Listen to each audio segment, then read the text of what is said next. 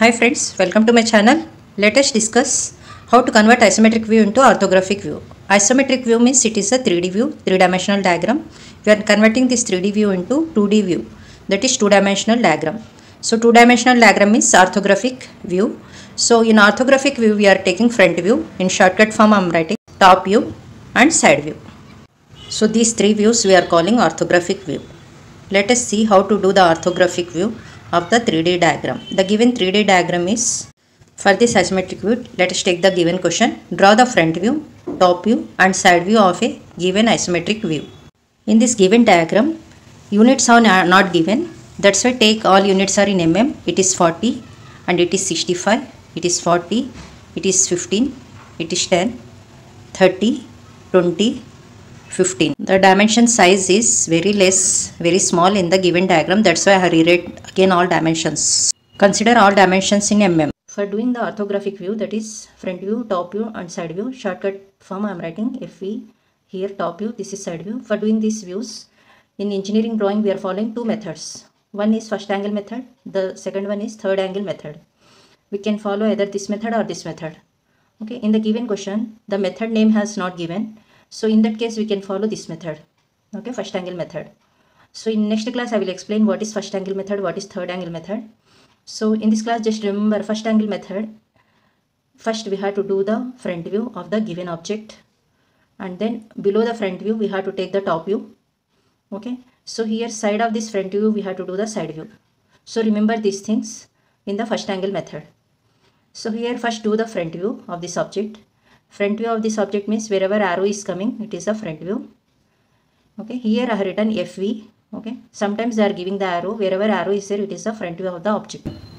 Let us do front view here. Roughly i am doing initially front view top view here and a side view in this portion. We'll do all the three views roughly by seeing this isometric view. First take the front view. Here which is a front view means where- wherever arrow is given it is the front view so in this case it is the front view. This arrow will show the front view of this diagram. So we'll do the front view in this area. Let us take the front view. We will see this L shape of width 65 first do the 65 width and height of the L shape is 40 mark the 40 mm height or 4 centimeter. This height it has not given. You check whether uh, which side it has given. 15 mm has given at one side and throughout the length it is 15 mm mark 1.5 centimeter or 15 here. And then we can see the L shape. Here the thickness is 15 mm. Okay mark that 15 mm. After that complete the L shape. Just do the horizontal line here. We can see that horizontal line and then vertical line. Do the vertical line. So we got the L shape here. After that in front we can see this box also. The box dimensions are height is 20 and width is 30 let us do the box here. So it is 30 from this point width is and the height is 20 let us do the box here. So in the front view we can see this box with L shape. After this front view we'll do the top view here for doing the top view just do one portion. Here take one reference line after some gap. From the front view do the projector lines from main lines. Projector line means it should be in light color with pencil. Extend these lines up to some length. So for top you see from top you will get this box. This width is 65 and this height is 40 mm so 65 already we have marked between the projector lines so this width is 65 and the next side is 40 make the box. This side is 65 the top view we can see this 15 mm by 40 mm box. So already 15 mm projector line is there of 40 mm height. So this box and after that this small box 30 mm width and 10 mm thickness at the middle of the 40 mm here do one line at the middle. So at the after that take the thickness it is 10 mm so here take 5 mm above the middle line and 5 mm below the middle line. So the total is 10 mm that is 1 centimeter. Here the width is 30 mm the thickness is 10 mm so this is the top view. So this is the reference line. From front view we took the projector lines. We did the final top view now after that we will do the side view of this diagram. Side view means here whatever front view is there take the another side. It is the side view of the diagram. Here side view is coming our left side. So left side side view we have to do in the right side of the diagram. This is the left side we, but we have to do in the right side. Okay right side of this diagram. For doing it just do the one reference line. It is a vertical line. It is 90 degrees to the horizontal line so in this portion we will do the side view. Okay? So do the projector lines from all the main lines from the front view as well as in the from the top view. So up to that reference line do the projector lines from the all main lines. Here take the lines 45 degrees lines up to the reference line okay do the parallel 45 degrees lines at all these points. Now here instead of taking 45 we can by using compass also we can do the arcs also. Take this radius do an arc. That arc will come up to this point. For the next point take this radius. Take the same center do an arc. That arc will come at this point. So similarly take this radius for next point and do an arc and like that we can take arcs also. Instead of 45 degrees line at all these points do the vertical lines projector lines. Always remember projector line should be in light color compared to the main diagram. Here we took all projector lines from front view and top view. Now take the side view. Okay this is the side view. In the side view we can see this box of width 40 height is 15 mm okay already we took 40 mm okay from the projector line. Take this 40 here and a 15 mm box. Already projector line is up to 15 mm just make a box within these lines. After that we can see this height also. How much height? 40 mm okay from this side. So just take that 40 and make the box. Okay. So in the front view we can see this small box also. This height is 20 mm width is 10 mm okay at the middle. Already we took 10 mm projector lines. The height is 20 mm. Okay make the box. This is the side view. This box and the small box we can see in the side view. Let us do these three views in the sheet by using instruments. Initially do horizontal reference line. After that do the vertical line. This vertical line is perpendicular to the horizontal line.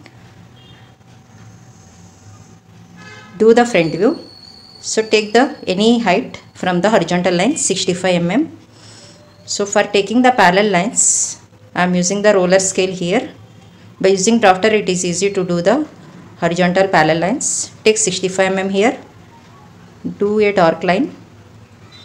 After that take 15 mm height. And this side is 40 mm take this is the reference line vertical line take 40 mm here take this side 15 this side 15 take some length here on it mark 1.5 centimeter that is 15 mm and here also take 15 mm do some length on it mark 1.5 centimeter do one vertical line of some length.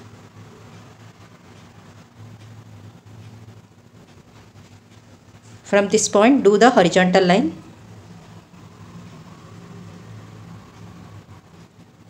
Up to some intersection point. For this L shape take 20 mm by 30 mm box. Mark here width that is 30 mm and height is 20 mm take this is a reference line at this point take some length on it mark 20 mm and make the box. Take this is the reference line. Complete the box. So this is the front view. Just write down here front view. It is not necessary to write front view. Just for getting clarity I am writing front view. after front view below the reference line after some gap do the top view So here take the projectile lines up to some length. Do the projectile lines. Projectile lines should be in light color compared to the main diagram. Here we will do the top view. For top view, take this dimension is 65 by 40. Make one box. So 65 already we took this length between projectile lines. No need to measure here and this height is 40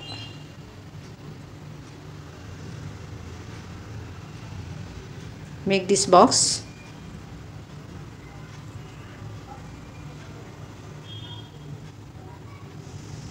So after this box here we take this width.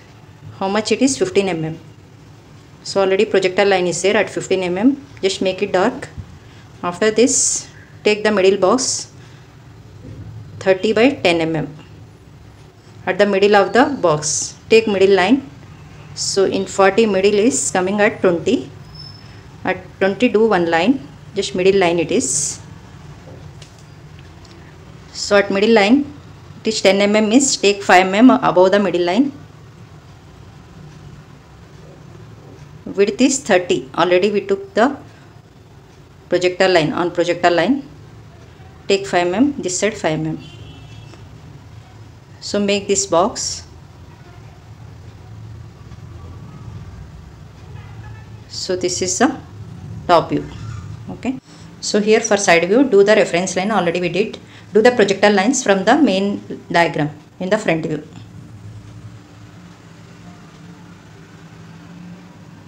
So from this also do the projectile lines up to the reference line.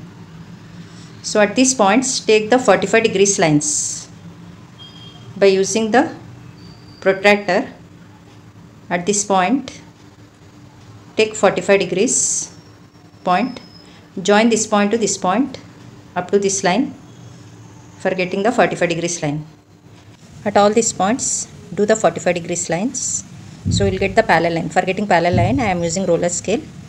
So at all the points we'll get the 45 degrees lines. By using protractor it is easy to do the lines so at the middle point also do the projector line. So here at all these points extend the vertical lines vertical projector lines. This projector line should be in light color. Here we will do the side view. In side view we can see this box 40 by 40 okay this height is 40 we'll do the box 40 by 40 join these points.